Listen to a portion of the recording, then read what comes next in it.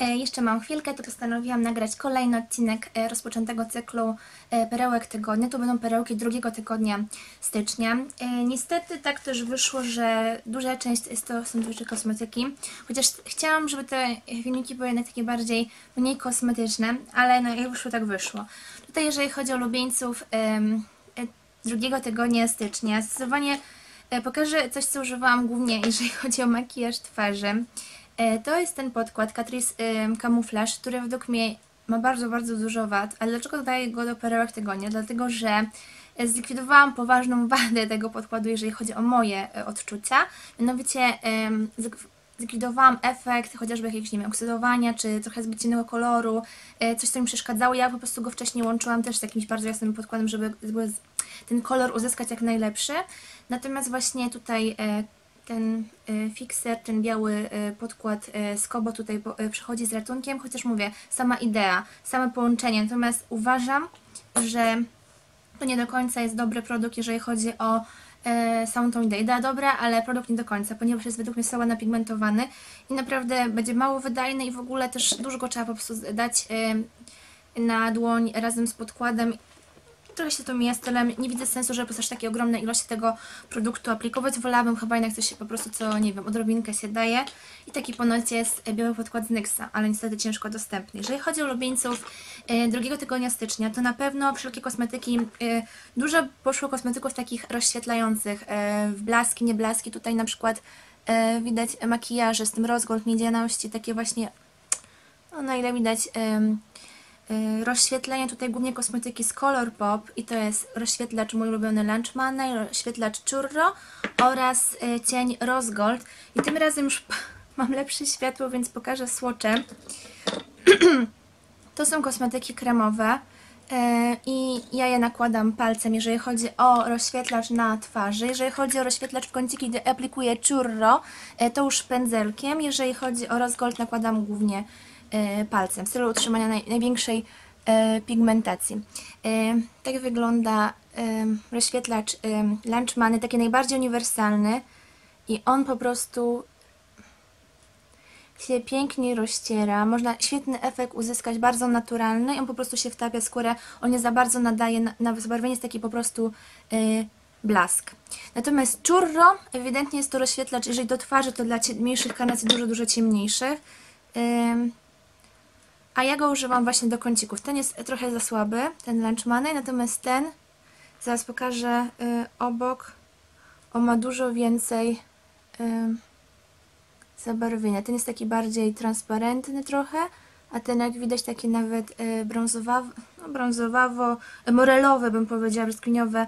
Chociaż do twarzy też by mógł być, tylko trzeba by po prostu bardzo porządnie go, tak jak teraz, o, rozetrzeć, ale trochę się może odcinać, przynajmniej przy mojej karnacji, także ja zdecydowanie wolę do twarzy Lunch Money. W ogóle jeżeli chodzi o rozświetlacze z Colourpop, ja mam ich bardzo dużo, kiedyś była taka akcja, że za zakupy tam określonej kwoty dodawano po prostu przy każdym przekroczeniu tam jakiegoś przedziału e, dolarów e, rozświetlacz, także ja mam bardzo dużo rozświetlaczy, bo tam chyba nabyłam wtedy trzy, jak dobrze pamiętam, więc e, ja mam trochę więcej tych rozświetlaczy.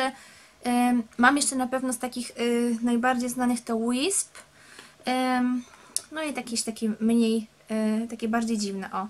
W ogóle ten y, Churro, staram się go tu pokazać, żeby było widać, o, że on ma naprawdę sobie dużo jednak koloru, o tu. Y, On też może być fajny jako cień. No nic, porozcierałam, porozcierałam, żeby jakoś to y, móc dalej pokazywać. Jeżeli chodzi o Rose Gold, to... ym,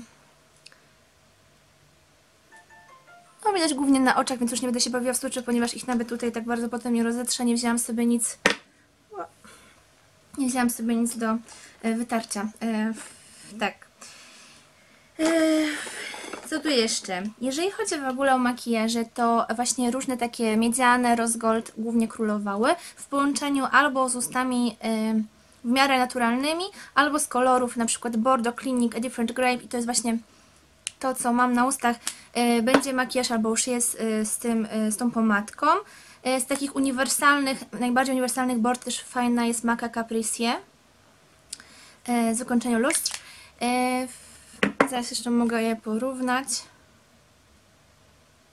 To jest klinik, taka wiśnia bordo. E, Natomiast e,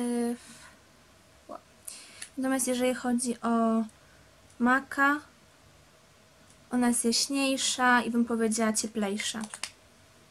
Yy, maka jest ta, ta dalej wyjechana tutaj. O. Jest jaśniejsza, jest cieplejsza. Yy, tak. Więc tak, yy, do miedzi i takich właśnie rozgol też bardzo lubię. Czerwień, na przykład Russian Red. Ogólnie nie czerwienie typu, nie wiem, tak jak tutaj ta z Make Up Forever, takie ciepłe, tylko takie po prostu bardziej takie chłodne z tonami niebieskimi, czyli na przykład Russian Red. Yy, czy coś jeszcze tutaj chcę pokazać? Ym, w zasadzie to jeżeli chodzi o kosmetyki. Jeżeli chodzi o ulubieńców, czy ja wzięłam? O! Dobrze. Tak. To był mój ulubieniec zeszłego tygodnia perfumowy. So Oud Nur. To jest jeden z najbardziej genialnych zapachów, jakie w życiu poznałam. Tutaj mamy taki motyw yy, w ogóle rumianku. Taki motyw takich nietuzinkowych, niszowych ziół. Dodatkowo tam są też takie nuty yy, owocowe, co daje momentami taki wydźwięk trochę owocowo-leśności, jednakże tam nie ma stricte owoców leśnych. Dodatkowo przepiękna, podana, to jest prawdziwa naturalna ambra i ona nadaje takiej po prostu yy, takiego oszołomienia temu zapachowi. On jest taki po prostu inny, taki skrzący. Yy, też się wydaje, że tutaj są nuty skórzane. Te nuty skórzane są, ale nie w takim wydaniu męczącym. One bardziej nadają charakteru razem z ambrą, tym nutom właśnie takim ziołowym, tym owocowym. Yy, I naprawdę ten zapach jest po prostu genialny. Według mnie zdecydowanie wasz swojej cenie znam nic w podobnych klimatach.